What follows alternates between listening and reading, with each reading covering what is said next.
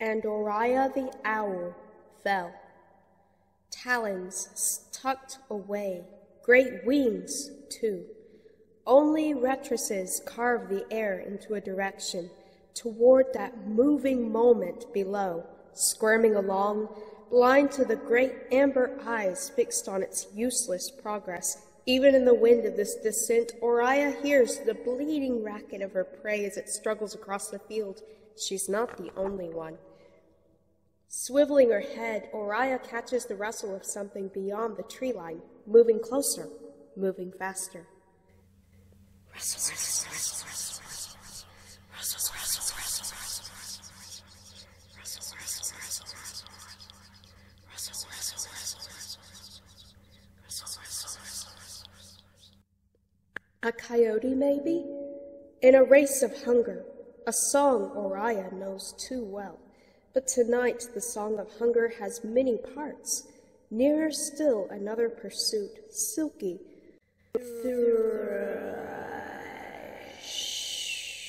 Whispering through weaving grass, not as fast as the closing in on the tree line, but just as hungry. A snake. Though tonight neither rustle nor thrush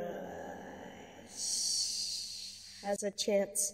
Oria will arrive first, easily.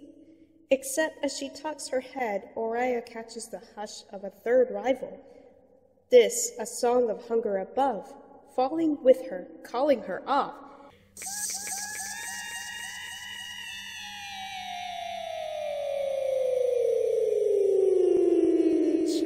But Oria neither alters nor slows her course. Rimages pulling in tighter, streamlining every angle down to her deadly beak, focusing only on that flat, fast rising world. Below, two rabbits catch sight of the warring raptors dropping from the sky.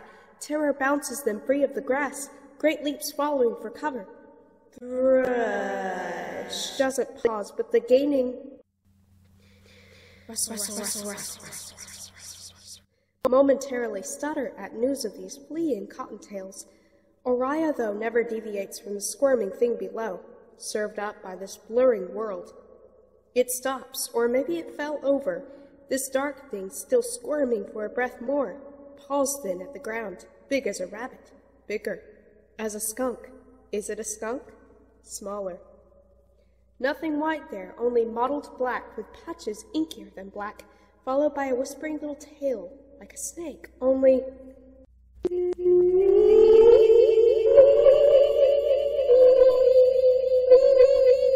Meat for days is all Oria knows. Meat for days for her little ones, for her, and for her mate if he ever returns. But he will never return. He left moons ago.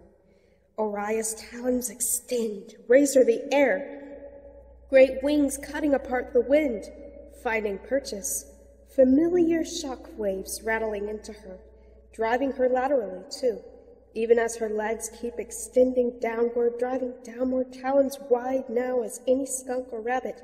The same is true above her, just above her. Oria doesn't need to look, won't look, knows another pair of talons, razors after her. Another mantle and nape, driving hard to knock her down, blunt her into the flat, fast rising ground, seized then to prey for himself, except snatch! Oria has her prey. Great wings snapping wide then, at once the wind of her fall, hurling her upward, bill to crown diving skyward. Of course the snake thrashing cannot know yet its prey is lost. The coyote, though, and it is a coyote emerging from the tree line, stops in the grass dumbfounded at the sight of the seizure, looking away just as fast, looking for the rabbits now, skulking off. Only Oria sees. The coyote turn, then leap, snapping at her attacker, an eagle, male. Only Oria sees the snake uncoil, then breaking down those following wings, instances she knows as clearly as summer lightning. She has lived her long life with such flashes of lightning which her long life has taught her to disbelieve.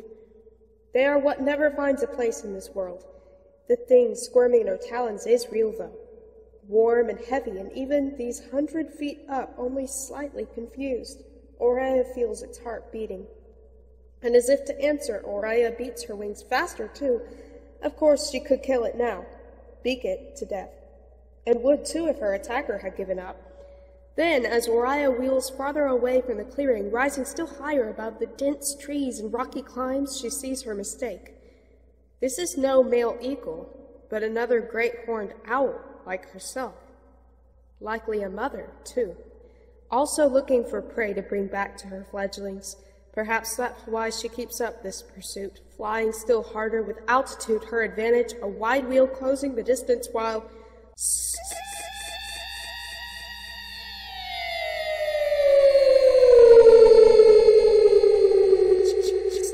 cuts loose of her deadly bill. She is bigger than Oria, much bigger, beautiful too, and more powerful, enormous wings shadowing the land. And without meat clutched beneath her downy belly, she flies faster, much faster. Oria knows she will have to dive again, only her attacker dives first, diving away. Oria doesn't understand. Those beautiful, enormous wings falling away, Oria only hears the crack, crack, crack, an instant later, and by then she's diving too. Instinct evades the echoing crack, crack, crack, following her attacker's spiral toward the high weeds.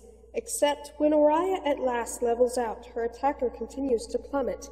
The way the great wings twist then and go askew as they flip twice across the ground before lodging in a thicket of thorns sickens Oria.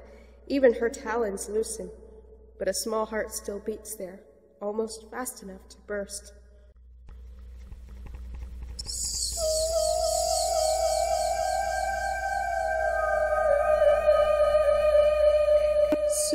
Oria reaches the cover of remembered branches, but not even a whisper on the air, gliding beside her dark trunks above her dark steams. Except her home is not there. Or it is there, but it is a home now wrong. High edges broken, bedding scattered, the rest torn, torn, torn, torn, torn, torn, torn, torn, torn, torn, torn, torn, torn, torn, torn, torn, torn, torn. Her three fledglings gone.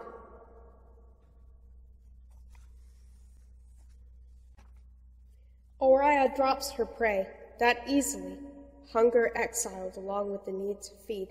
Pain blossoms in her chest, spreads through her head until it blots out her eyes.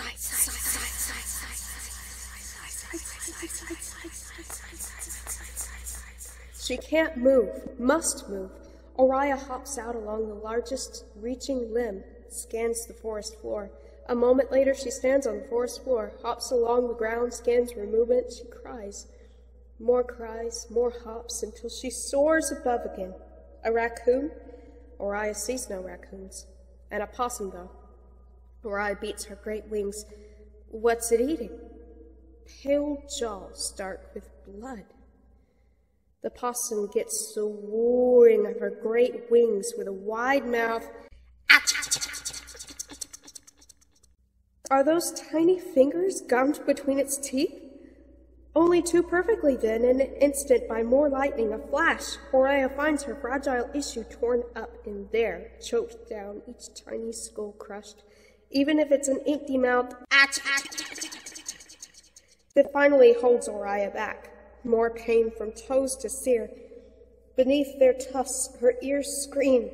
Oria beats her wings again, great wings thrown wide, rising slightly, talons sharper than threats, even before she can dart at its eyes, lose her own screech.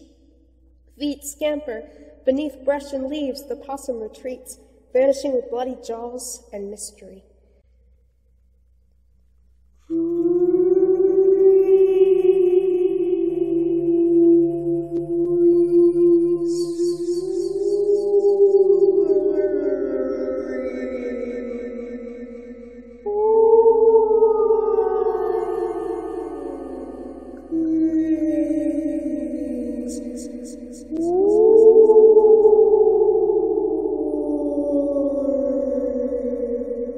Again, Oria soars. All she can do now is listen. Instinct listens and instructs. Snap, snap, Somehow altering her, tearing Oria across a sky too terrible to cross. The three were still too young to fly, but old enough to try. Maybe they fell. She listens for their wide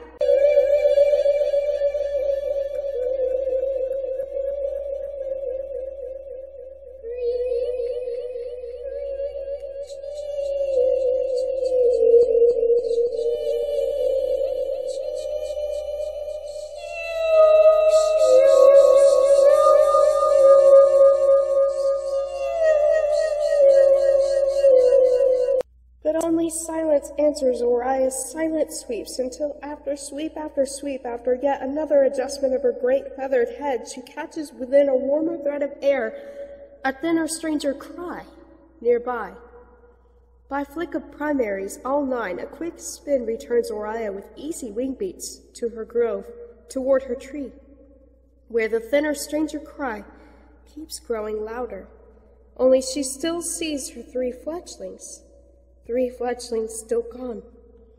Oria, blind and notched to the black squirming thing at the center as she rounds by, hops the high ridge of her nest. A frantic answer which quickly enough becomes its own frantic question.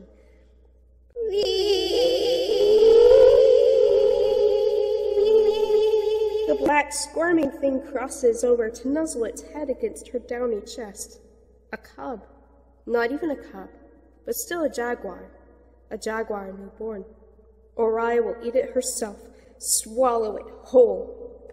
Only Oria sees herself slam the tip of her bill through the thin layer of bone to dig out beneath the softer eats.